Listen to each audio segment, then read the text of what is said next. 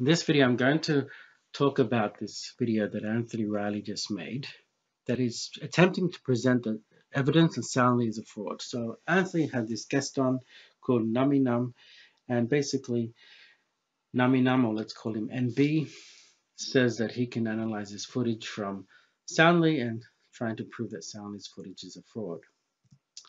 So basically this is the photo of the bridge over the lake and there's a few things he's trying to say. He's saying, first of all, that these signs seem too close together. Um, second of all, he's saying this hut doesn't appear to be in the right place. And third of all, he's saying the hut is orientated incorrectly. And why does he say the hut is orientated incorrectly? And why does he say it's the hut is in the wrong place? So basically he's saying this is a marker, this is 0.5 miles, and the hut is not at 0.5 miles, is the hut is at 1.1 miles. All right, so let's um, analyze this and see what's going on. So, at this point in the video, at 53 minutes, 46 seconds, basically, NB is saying, this is a photo taken from Google Earth, from a from Street View, from a car sitting over here, looking at the hut. And you can see that this pipe here is represented over here with this pipe. Now the thing is, now the thing what he's saying is, is Soundly's photo, the hut is orientated incorrectly because in the Google Earth photo, you can see that the, the face of the hut is where the pipe comes out of. And here we can see the pipe comes out of the other face. So it's orientated incorrectly. Now the problem is, this is where NB's problems start. These lines over here are the lines from the hut towards the camera. So the left line is blue and the left of the hut is to the camera is blue and the right of the hut to the camera is red. This is where the camera from the Google Earth car was Street View was situated when it took this photo. So of course the car from Google Earth, from Street View, is going to see this side of the hut. It's going to see the east side of the hut.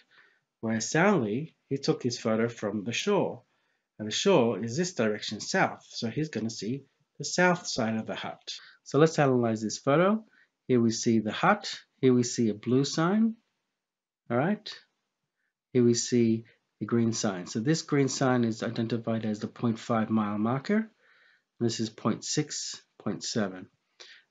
This is a blue sign. So we're going to go on Google Earth and identify these um, items. So here we have the hut. We have mile 1.1. So the hut is about 1.1 miles away from beginning of the of the bridge. This is where the photo was taken from. Notice that the photo intersects the blue call box 4 and the 0.5 mile.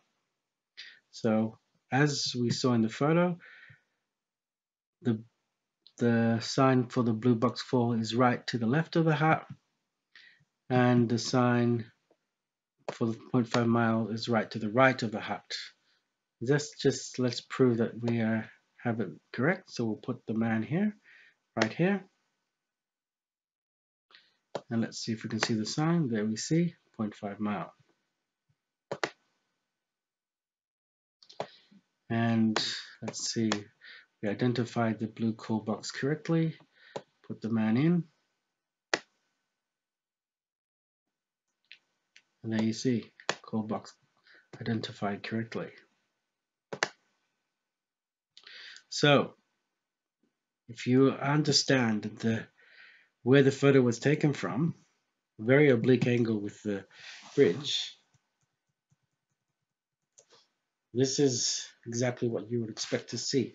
You would expect to see from your point of field of view, from line of sight, we'll cross the blue cobalt box marker, get very close to the 0.5 mile marker, and then reach the hut. Exactly what you would expect. So that proves that this so-called proof of NB has no merit. And the fact that NB is putting a man here. He takes the man, puts him next to the 0.5 mile marker, and tries to look around the marker for the hut, is telling us he has no idea that the, the photo was taken from the south, not from the east. The photo wasn't taken from this direction, the photo was taken from the south. So where you're meant to look from the 0.5 mile, you're meant to look along the line of sight where the photo was taken from. Now, the thing is, if you put a man here at 0.5 miles, you're not going to be able to see the hut from the Google Street View because Google Street View cannot see distant objects. It's not zoomed in. Whereas this camera is a P900. It's zoomed in all the way to be able to see distant objects. So that's why distant objects look big on the photo it's not because they are big or close, it's because they're zoomed in on the P900. If you zoom out on the P900, they'll look very small. So the reason why it's very difficult to see the hut if you put a man next to the 0.5 miles is because it's far away from from from the 0.5 miles to the hut is about 0.6 miles. So you're not going to be able to see it on Street View because Street View is not designed to see distant objects. It's not zoomed in. But if you're using a P900, yes, you will see distant objects because P900 is designed to see distant objects. So this idea of NB that you should be looking around here to be able to see the hut is basically based on a flawed understanding of where the hut is, a flawed understanding of perspective, and a flawed understanding of the fields of view and lines of sight. Now the other thing that um, NB keeps on going on about is from here to here is 0.1 of a mile. And as you get further along the breach, they seem to get closer and closer. And he's, he's saying that doesn't make any sense. Why are they getting so close? It's it's 0.1 of a mile. This is about 160 meters long. It's you know it's not it's not a small distance. Why does it appear so small? The reason why it appears such a small distance is because as you get further and further away, it becomes more and more compressed. And you can see the same exact effect happening over here. Here we have a scene. We have the close lights. And as you get further and further away, they get more and more close together. They seem to get closer together. They're more compressed. That's exactly what perspective causes. Distant objects get compressed together. Close objects are less compressed. The other thing that you can notice is that closer objects there's a bigger difference between this one and this one. This shrinks a lot quicker compared to this one than this one and this one. The shrinking is not as great as you get further and further away compared to closer objects. Now the reason why distant objects don't shrink very fast is because of the law of perspective and the difference between close versus distant objects. So if you have two objects, one is let's say 100 meters away and one is 300 meters away, right? The one that's 300 meters away will appear three times smaller because it's three times further and the angle of arc will be three times smaller. So this angle, the blue angle, will be three times smaller than the red angle because it's three times further. But if you have the distance between this one and this one is 200 meters. Now if we take 200 meters but put them instead of 100 meters away, let's say it's um, 1,600 meters away and 1,800 or 1.6 kilometers or 1.8 kilometers, then you're going to see the difference between 18 and 16 or 1.8 kilometers and 1.6 kilometers is 12.5 times further. So this is 12.5% times further will be 12.5% times smaller. The angle of arc will be 12.5% times smaller. The difference between the red angle and the blue angle will be very, very small compared to these ones, even though these ones, they're both about 200 meters difference, right? This is 200 meters and this is 200 meters. But because this is very close to you, it's going to have a much bigger effect than distant objects. Distant objects are going to um, recede away from you and shrink at a much smaller rate.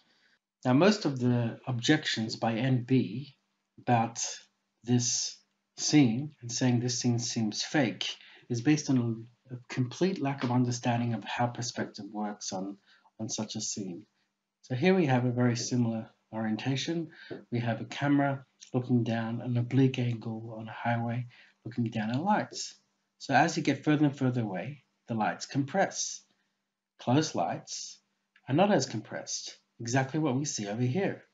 Further signs are compressed. Close signs are not as compressed.